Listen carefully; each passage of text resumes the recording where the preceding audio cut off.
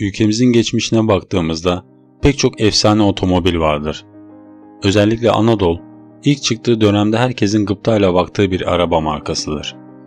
Fütüristik tasarımı ile gelecekten fırlamışçasına görünen ve bireysel özgürlük hissini de arttıran Anadolu A6, diğer adıyla Anadolu Böcek, Anadolu tarafından 1975 ve 1977 yılları arasında üretilen bir buggy modelidir. Araç, başlangıçta Türk Silahlı Kuvvetleri'nin isteği doğrultusunda geliştirilmiş olup Volkswagen Buggy modeliyle benzerlikler taşımasına karşın konsept ve karakteristik olarak farklı bir tasarıma sahiptir. Gelin Türk otomobil tarihinin tozlu sayfalarından çıkarttığımız zamanın çok ötesindeki Anadolu böceğin öyküsüne birlikte göz atalım. O zamana kadar üretilen Anadolulardan çok daha farklı olan Anadolu böcek, günümüzdeki en popüler araçlar olan SUV'lara benzeyen bir yapıya sahiptir. İlk baktığımızda beach buggy denilen araçlarla da benzerlik gösteren Anadolu böcek, aslında çok daha farklı amaçlar için Türk Silahlı Kuvvetleri'nin isteği doğrultusunda tasarlanır. Anadolu böceğin ortaya çıkma süreci çok hızlı olur.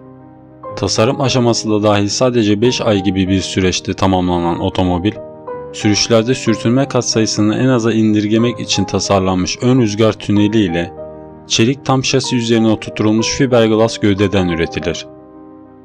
Gövdenin daha az maliyetli olması için o zamanlar yeni bir teknoloji olan fiberglass'tan imal edilmesi oldukça sıra dışıdır. Bu teknoloji o zamanlar ilk olarak İngiliz araç üreticisi Reliant Motor Company tarafından kullanılır. Araca ilk bakıldığında yan aynaların olmadığı görülür. Bunun nedeni aracın iç kısmında beşli panoramik aynaların bulunmasıdır. Bu özellik o yıllarda sadece Amerika'daki NASCAR araçlarında bulunan bir özelliktir. Türkiye'nin yerle ancak A1 A2 Anadolu modellerinde kullanılan 1298 cc'lik ve 63 beygir gücündeki Ford Kent motorlu otomobilinin konsepti Otosan Araştırma ve Geliştirme bölümünde çalışan Jan Nahum tarafından tasarlanır. Tasarım, model ve karoser çalışmalarını ise Anadolu STC 16'nın da tasarımcısı olan Erap Noyan tarafından gerçekleştirilir. Otomobilin motorundan Zeki Diker, mekaniğinden Kadri Nişel, şaseden ise Hüseyin Bektaş sorumludur. Otosan tarafından Anadolu Böcek modelinden toplam olarak 203 adet üretilir ve o dönem için çok yüksek bir meblağ olan 47 bin liraya satışa sunulur. Ancak araca halkın talebinin çok olacağı düşünülür. Bu çerçevede İstanbul'da 1973 yılında üretime bitirilen eski Arçelik Lambretta Triportör fabrikasında Anadolu Böcek için yeni bir üretim bandı kurmak üzere proje fizibilite çalışması başlatılır. Otomobilde kapı olmamasına rağmen 4 koltuk bulunur. İlk prototipinde arka koltukların gövdeyle bütünleşik olduğu görülür. Asimetrik ön ve arka tasarıma sahip olan araç çelik şasi ile üretilir. Sis farı gibi gerekli eklentilerin yapılmasını sağlayan değişken aralıklara sahip ön panjur ve arkada solda 3, sağda ikili stop lambaları bulunan modele eğer ihtiyaç duyulursa martı kanadı kapılarda eklenebilir. Ayrıca sıra dışı gösterge paneli ve konsol yapısına sahiptir. Önden ve arkadan bakıldığında lastiklerin dışarı taşan ufak kısımları aracın bir miktar daha vahşi görünmesini sağlar. Üstü açık bir küçük cip olarak da tanımlanabilecek Anadolu böceğin tasarımı daha sonra Avrupa'da üretilen birçok su aracı esin kaynağı olur.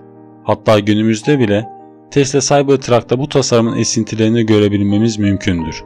Askeri, kamu hizmeti, ambulans, turizm, polis, ziraat gibi pek çok alanda kullanılması için geliştirilen aracın ön camla aynı hizada giden kaputu ve onları takip eden tavan rol barları önden bir başka aracın Anadolu böceğin üstüne çıkmasına olanak tanır. Bu da engebeli arazilerde araçların birbirini kurtarmasını sağlar. Ön camında bulunan sadece tecrübeli sürücüler kullanmalıdır yazan uyarı etiketiyle 1975 yapımı Anadolu Böcek, Cüneyt Arkın'ın oynadığı Süpermenler filminde de kullanılır. Model kullanım ve isteklere göre değişik versiyonlara sahiptir. TRT dış çekimler için martı kanat kapılı versiyonu, offroad versiyonu, itici çekici versiyonu ve askeri versiyonu vardır. Daha çok askeri amaçla üretilse de özellikle sahil kesimlerinde de satılması planlanan otomobil STC-16 gibi şanssız bir döneme rast gelir. O dönemde döviz alım satımı ve yurt dışına döviz transferi hükümet iznine bağlıdır. Anadolu yöneticileri hem üretim bandını büyütmek, hem üretim için gerekli ithalat kalemlerini finanse etmek, hem de ihracat için reklam faaliyetlerinde bulunmak üzere hükümetten döviz transferi için izin talebinde bulunur. Hükümetten yapılan döviz transfer talebine verilen cevap, düşük gelir seviyesine sahip halk için otomobil üretilmesi gerektiği ve projenin gereksiz bir çalışma olduğu düşüncesi olur ve proje için döviz transferi yapılamayacağı bildirilir. Ayrıca üretildiği dönemde yaşanan petrol krizinden dolayı dönemin şartları nedeniyle çok fazla ilgi görmez. Böylece dönemin ilerisinde tasarlanan model bu sebeple üretimden kaldırılır. Böylece Anadolu A6, diğer adıyla Anadolu Böceğin hikayesini birlikte göz atmış olduk.